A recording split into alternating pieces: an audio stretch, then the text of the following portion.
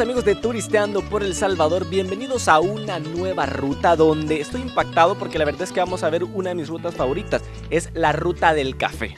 Así es, y como tú decís, la ruta del café es muy importante para nuestro país. El Salvador lo encontramos en los diferentes departamentos y ahora nos encontramos en la zona oriental, específicamente en el municipio de Jucuapa, que se encuentra en el departamento de Usulután. Y estamos en la finca El Porvenir, donde vamos a ver todas esas actividades que usted puede venir a hacer con toda su familia. Así es que, ¿qué le parece si nos acompaña disfrutamos de esta bella vista? Acompáñenos.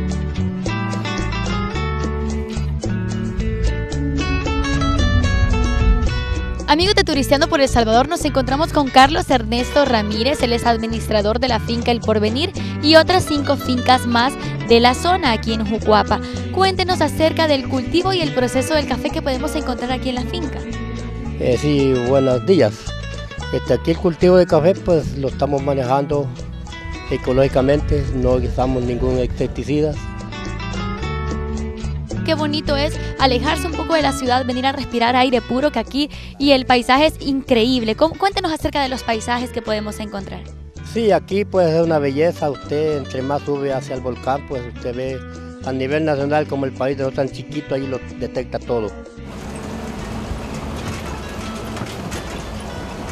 Quedamos bien cómodos.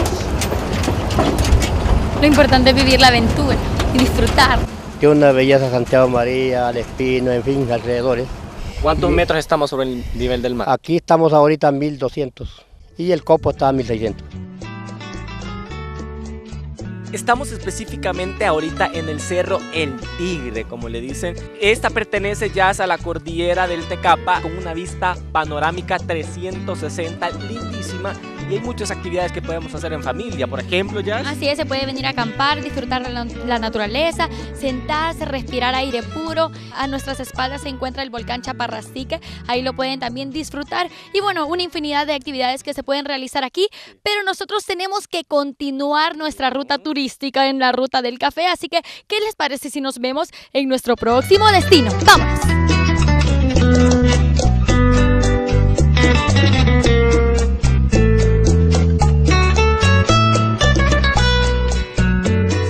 Me encuentro aquí con Fernando Campos. Él es el administrador del Beneficio San Luis, acá en Moncagua. Cuéntenos exactamente, tenemos aquí a nuestro lado del frente eh, el área donde se hace el proceso seco o proceso de exportación. Explíquenos tal vez un poquito de forma detallada qué se hace ahí con el café. Lo que hacemos es quitarle la cascarilla del pergamino,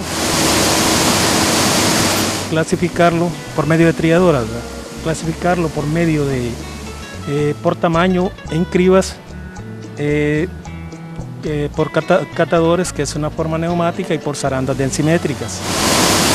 Está la limpia de café en máquinas Sortec. El beneficio produce café de media altura y estricta altura. ¿Cuántos quintales se producen al año este beneficio? Podría ser desde, desde 75 mil para arriba, me Para imagino. arriba podemos llegar a 100 mil y no hay ningún problema. Encontramos aquí en el departamento de control de calidad, siempre en el beneficio San Luis, aquí en Moncagua. Y me encuentro con Mardomo y con Adilio, quienes son los catadores, se le puede llamar así, y los que hacen las pruebas si el café está realmente bien. Cuéntenos acerca de cómo es el proceso de control de calidad aquí, paso por paso. Sí, paso por paso es de cuando ya viene de, grano ya de bodega, entonces lo, aquí lo, lo tostamos, eh, después lo molemos, ya pesamos 9 gramos para ponerle a cada taza, ya después ya cuando la- el agua está ya hirviendo se le echa allí para sentir ya el, el- el sabor de, de la calidad del café. Con el sabor del café, digamos, ¿qué, qué van determinando? Aroma, cuerpo y acidez.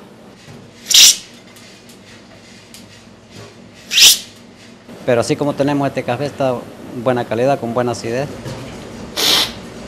Una vez ustedes lo han probado y dan el lado bueno, ya se puede exportar. Sí, ya después exportar, sí, ya con el ok. Yo voy a dar mi lado bueno, pero tengo que dar mi ok, ¿le parece? Sí. Te- Tengo que probar para ver si está bien, ok. Así que bueno, continuamos con más aquí en Turisteando por El Salvador, aquí en la ruta del café.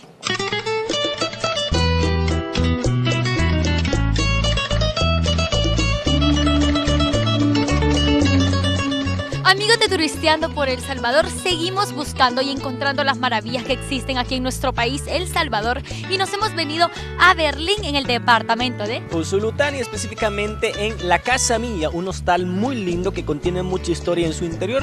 Así es que, ¿qué le parece si nos acompaña con este frito aquí en la Ruta del Café? Vamos. Vamos. Bueno, y estamos aquí en la casa mía, en un hotel donde Rafael Rivera es el propietario de este lugar, pero qué tal como está antes que nada, pero quería más que todo que me profundizara sobre la historia, porque yo veo que es un museo muy bonito y tiene una historia de muchas fotografías. Hay parte de nuestra familia en las fotografías y también está parte de la historia del pueblo con familias que fueron amigos de mi familia.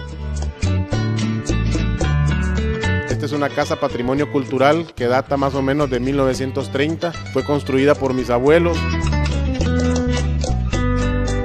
La casa está compuesta por lámina troquelada importada de Bélgica porque Berlín fue un asentamiento de, de, europeos y allá por 1925 en una baja de los precios del café se intercambia café por lámina.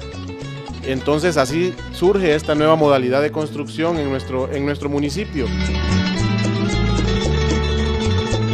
¿De dónde proviene el nombre La Casa Mía? Nosotros queríamos que el concepto fuera familiar. Yo me voy a sentir bien en un lugar donde se llame la casa mía, porque eso es un sentido de pertenencia. ¿Qué les podemos ofrecer a todos nuestros turistas? Tenemos 10 habitaciones, tenemos un pequeño hostal y también tenemos un pequeño restaurante y tenemos un café donde consumimos el café que nosotros mismos producimos.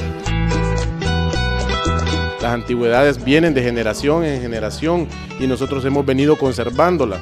Las piezas más notables quizás sería el arsenal médico que usaba mi abuelo, el archivero de, mi bisabuelo, la mesa del general eh, Morazán. La casa mía queda en Berlín, en el departamento de Usulután, exactamente en la segunda avenida norte, número 10. Estamos para servirles. Eh, abrimos todos los días, de lunes a domingo, sin cerrar en ningún momento.